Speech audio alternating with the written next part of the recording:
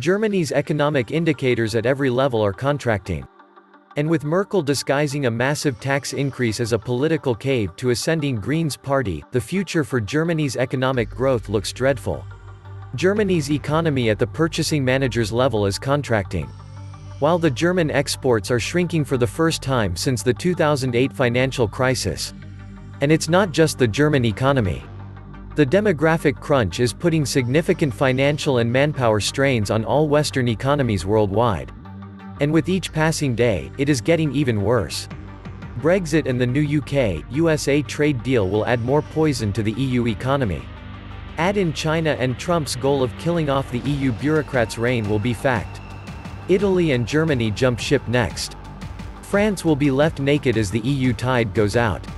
In future years the EU is awaited to continue falling further behind in many areas.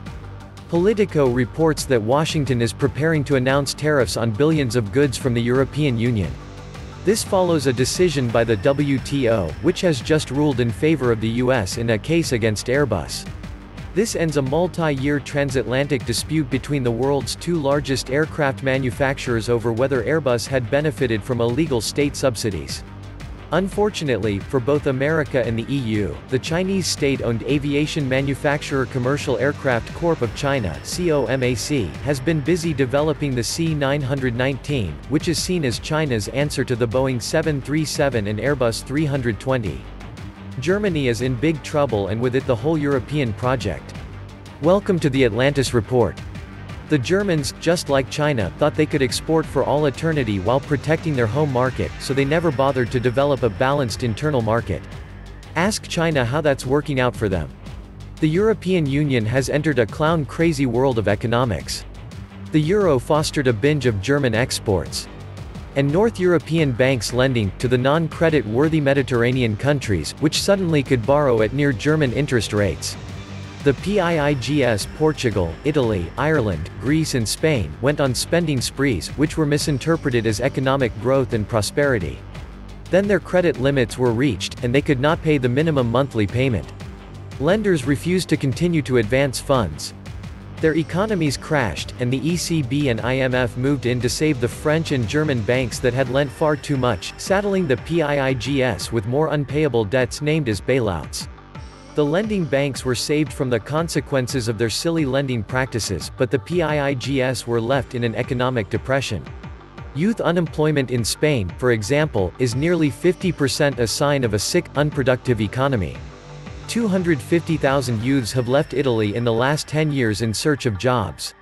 Unemployed people are a net drag on a country's economy, and there is significant opportunity cost loss from unemployment. Under the ECB euro system, trade and financial flow imbalances between euro member countries are soaked up by the target 2 balances. Germany now has nearly a trillion euro positive target 2 balance, while the PIIGS have negative balances. France teeters on the brink of a negative balance. Germany's large target 2 positive balance is the net amount that Germany has incurred in financing its exports to other EU countries. Whether Italy can ever pay its 400 billion euro target 2 negative balance is doubtful. But Italy is quite happy to accept Germany's self-financed exports. Whether and how much of its substantial positive balance Germany will collect is not clear. This economic plan is merely expanding credit to maintain a lifestyle that one cannot afford. The amount of debt already incurred exceeds the ability to pay, and the ECB has responded by money printing and negative interest rates. Without negative interest rates, the whole euro scheme would quickly fall apart. But negative interest rates are a symptom of an economy and a banking system which are seriously off the rails. If the interest rate is a measure of the value of money, then a negative interest rate is a sign that the euro is losing value fast. A similar phenomenon of credit expansion misinterpreted as economic health has played out in the USA. Now, it is becoming clear that the US governments and taxpayers are unlikely ever to pay off their debts, let alone keep up interest payments. The central bank response has been to drive interest rates to zero and flood the economy with liquidity via QE to keep the Ponzi scheme alive. Meanwhile, governments in Euroland have distracted the public with green initiatives and renewable energy generation, which have been successful only in driving electricity prices through the roof in Germany. And extending their cradle-to-grave social benefits systems to cover unemployable immigrants from the Third World has made their government's budgetary problems ever more acute. Meanwhile, banks, insurance companies, and pension plans are being gutted by negative interest rates. The financial entities have more and more adopted the appearance of casinos, with Deutsche Bank carrying trillions in open bets known as derivatives. Derivatives blew apart AIG in 2008, and the US government and Fed were forced to tarp it over to save the Wall Street system. But insurance companies and pension plans have had no such bailouts. Public pension plans in the USA are now severely underfunded, and governments are desperately increasing taxes to make up shortfalls. Tax burdens in Illinois, New York, New Jersey, and California, for example, are so high that people are moving elsewhere. But Super Mario kicked the can down the road long enough to retire from his position, so he can retire with his pension. Now, Fifi Lagarde takes over as ECB boss, after her triumphant resurrecting of the Argentinian economy. All will be well. Put your savings in the bank and watch them disappear. And, it is gone. Germany is an industrial and an exporting powerhouse. And with the trends for those two things in deterioration for more than a year. The balance of trade for the last couple of quarters has been at absolute bottom since 2016.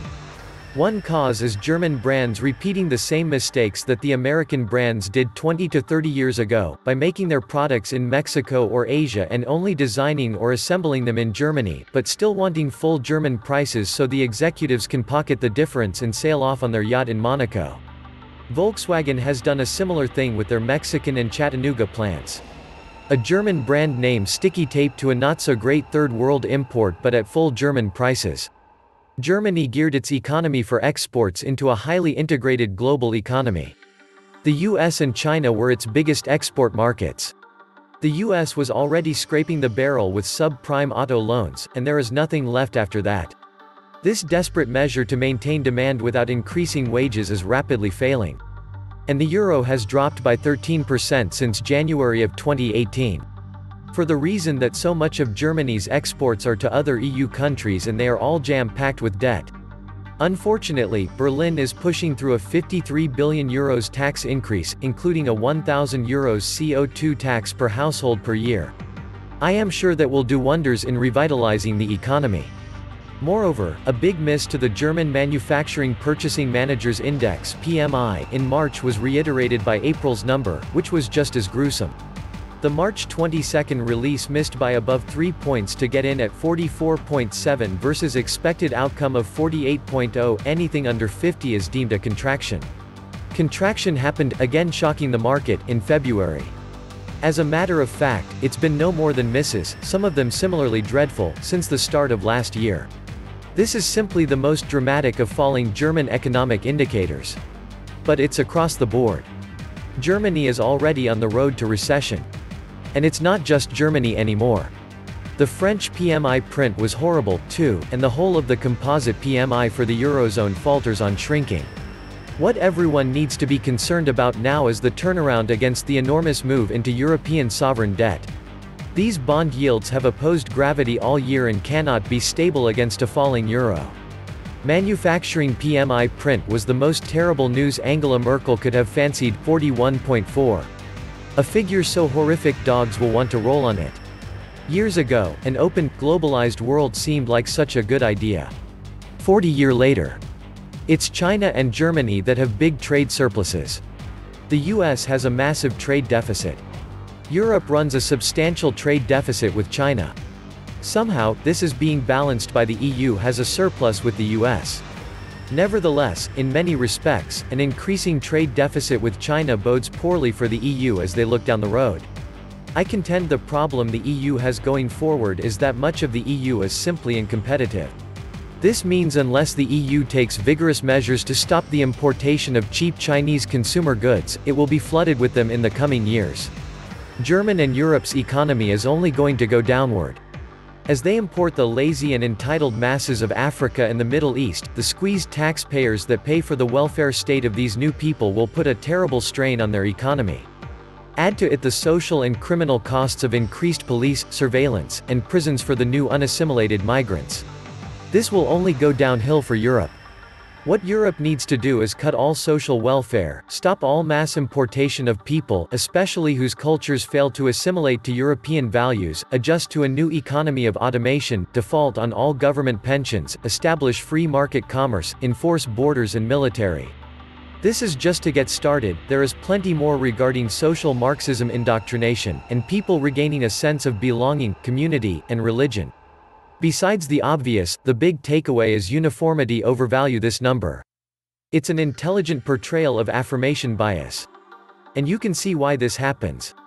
The widespread view tells us that a reconciling central bank and the ECB's negative interest rates are the acmes of accommodation, should support ongoing manufacturing growth because credit is inexpensive. But, it doesn't if there's no potential for the buyers of German merchandise to engage in more debt. Negative interest rates are expected to increase the current flow because nobody wants to lose money on their savings.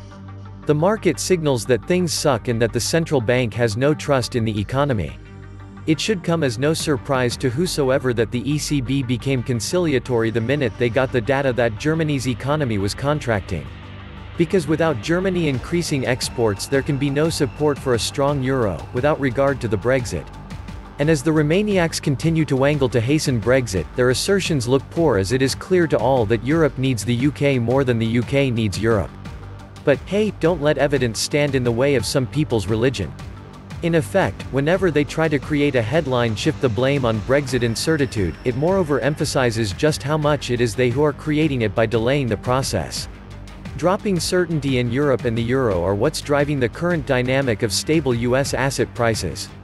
Our economic system, that is, our debt-based currency system, requires more debt and more revenue to fund the debt to keep the system going. This truism erases because there are never enough Federal Reserve notes in circulation to pay off existing debt.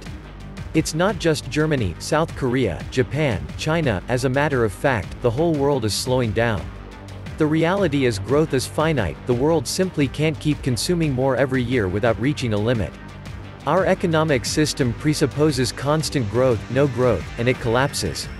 The massive debt levels brought on by using a debt-based currency are killing the EU. Germany is failing because, for years, they were walking a tightrope between what they produced and what they paid out. Before, it was just handouts to other European countries that had some growth.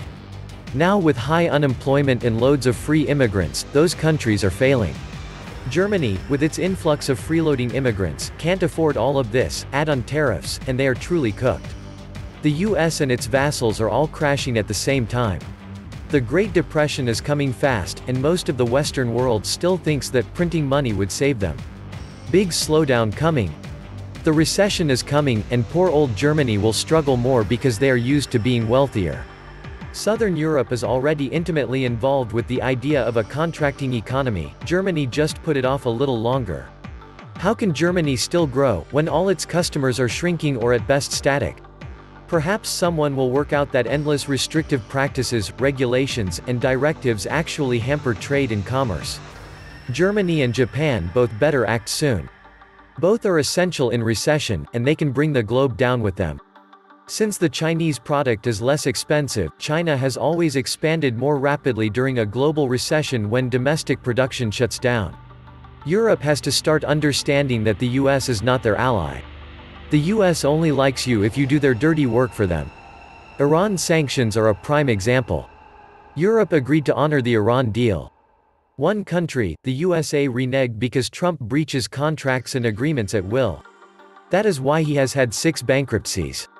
Trump is the first in U.S. history to reach an agreement entered into by a prior administration. It turns the U.S. into an unreliable dealer.